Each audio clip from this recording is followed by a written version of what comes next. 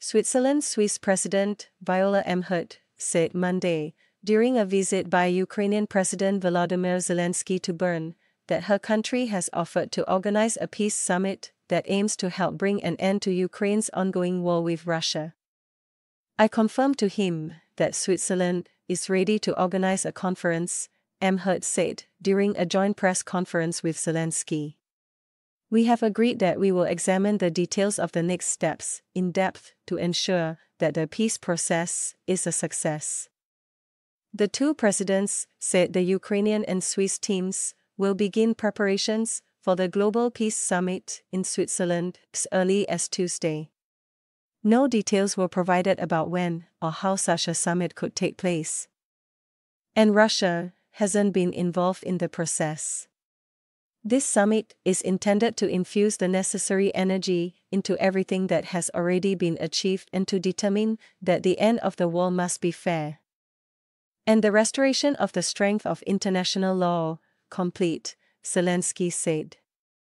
Talks of a peace summit come as Ukrainian military chiefs said Monday their forces had shot down a Russian early warning in control plane and a key command center aircraft.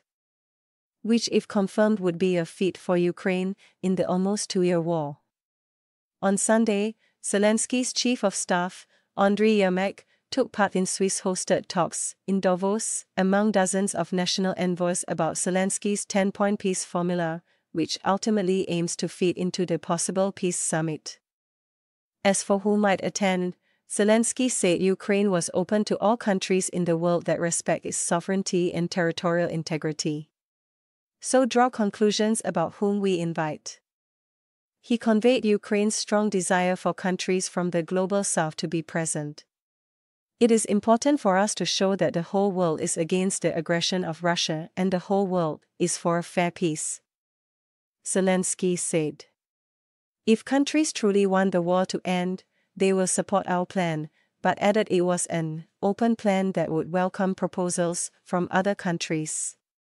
Switzerland, which has long touted its neutrality, has been at pains to strike the right balance over Russian President Vladimir Putin's war in Ukraine that began in February 2022. The Swiss have lined up with European Union sanctions on Russian people and interests over the conflict. Zelenskyy's trip to Switzerland, where he also met with parliamentary leaders on Monday, includes a visit Tuesday to the World Economic Forum's annual meeting in the eastern town of Davos. The meeting in Bern came hours after Amherd hosted Chinese Prime Minister Li Qiang, who is also on his way to the elite gathering in Davos.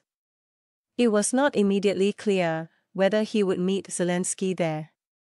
Zelenskyy noted China's significant role in the world and said Kiev would very much like China to be involved in our peace formula and engaged in the peace summit. However, he added, not everything depends on our will. We hope that all civilized countries will be involved in the peace summit.